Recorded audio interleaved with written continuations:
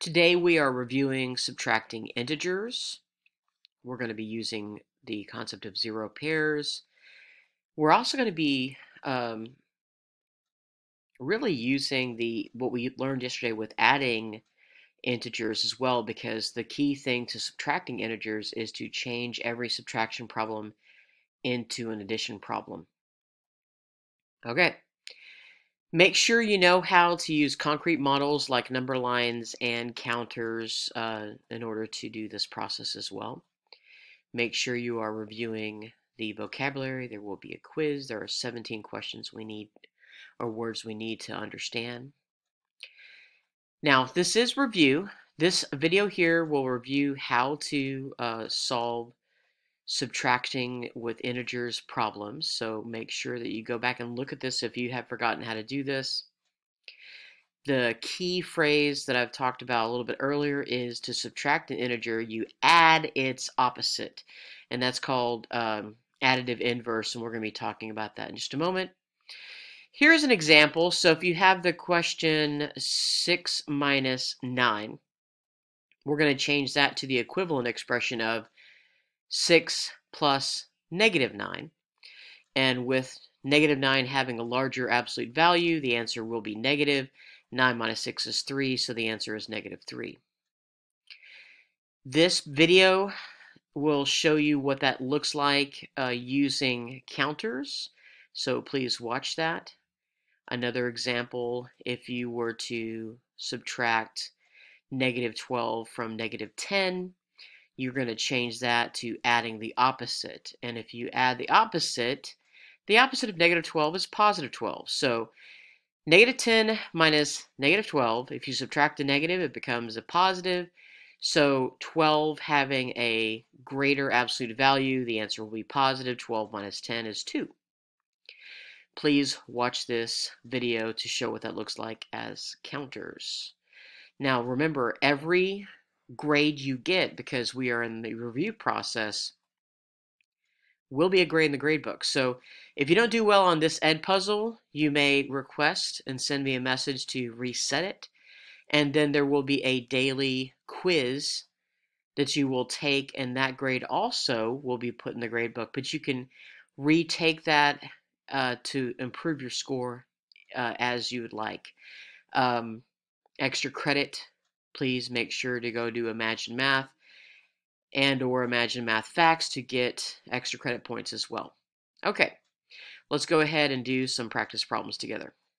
Okay, so please get a pencil and paper. When we take our STAR test this year, you will not be given a booklet to write directly on the page with the word problem. The word problem will be on the computer.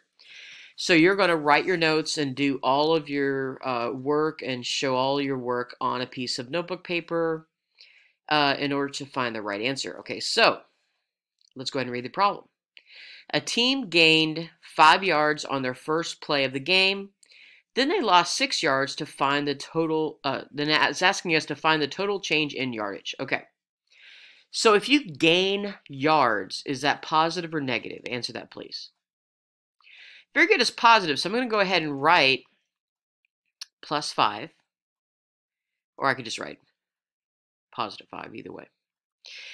All right, so that was important. And then it says they lost five, uh, lost six yards. So I'm going to underline that.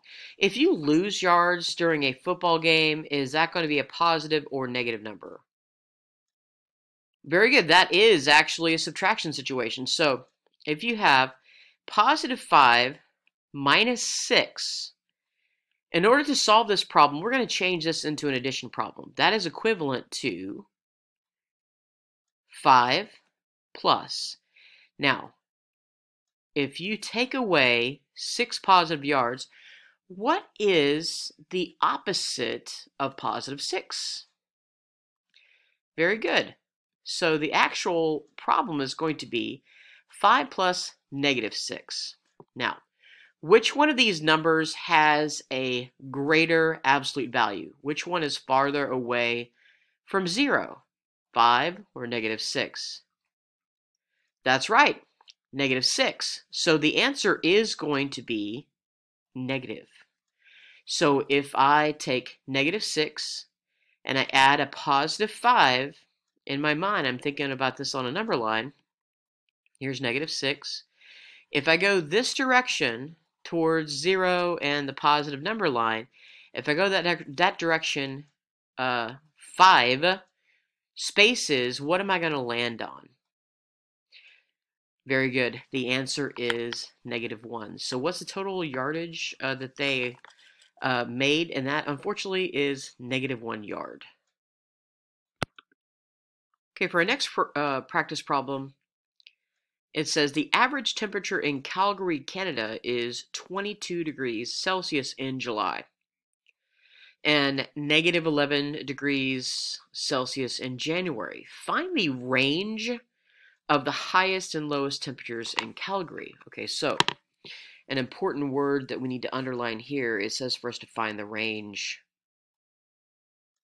Okay, in order to find the range, what operation do we do? Addition, subtraction, multiplication, or division?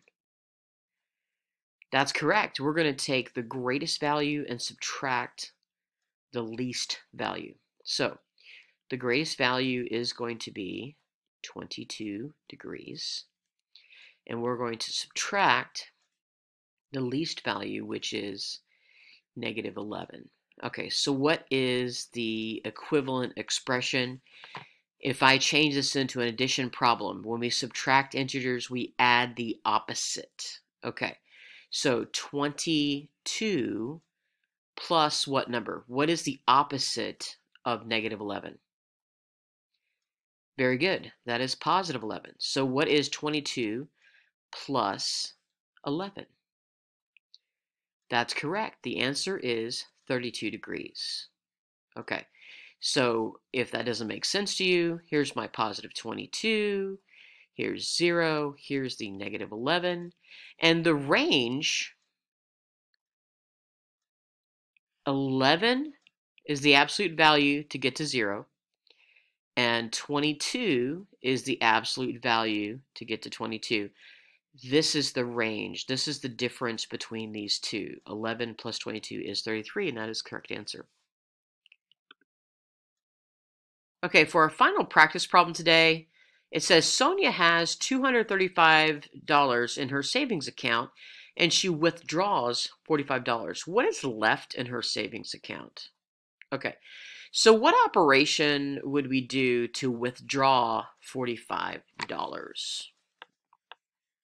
Exactly. That is a subtraction problem. So we have 200 $35 to start with, and we are going to subtract $45. Okay, this is a pretty standard thing that we have known how to do for quite a long time, but if we do want to go ahead and write the additive inverse for this, we're going to say $235 plus, what is the opposite of positive 45? Very good. That is going to be negative 45. All right. So we can just go ahead and think about this in the standard way, though. So we learned this early on in elementary school. I want you guys to go ahead and subtract $45 from $235, and what would you get? Answer that for me, please. Very good. You are going to get $190 left in the bank account.